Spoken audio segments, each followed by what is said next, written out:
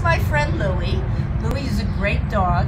He's 11 years old and he still he has a lot of energy. Louie loves his little walks. There's nothing he likes better than getting out there and sniffing all the great smells that the world has to offer. He is always up for a walk, but he's also very chill.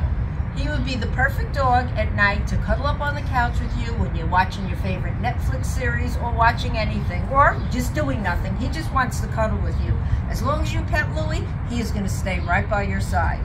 He's pretty chill. Louie would probably like to be in a home with adults, um, with adults, but if there were kids in the house, as long as they were older, he'd be fine with that too. Louie is a very smart guy too. He already knows how to sit, and if you're real nice to him and ask for his paw, he will give it to you. My favorite thing about Louie is that he's a big cuddle bug.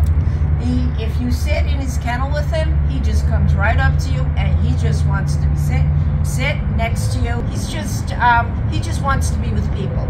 As long as he, he's with people, he's a happy dog. So if you think Louie could be the one for you, give us a call or email us and let us know and we'll tell you everything there is to know about Louie and we will schedule a meet. He's very anxious to meet his new best friend.